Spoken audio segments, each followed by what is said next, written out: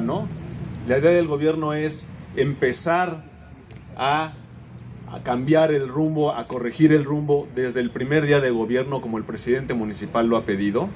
Y hoy estos comités vecinales buscan justamente eso, que juntos, como dice el eslogan del gobierno municipal, contigo y con rumbo, logremos mejorar las condiciones de nuestras colonias, de nuestras unidades habitacionales, de nuestras calles, de nuestras casas, de donde vivimos, donde van nuestros hijos a la escuela, donde van nuestros hijos al parque, donde juegan nuestros niños.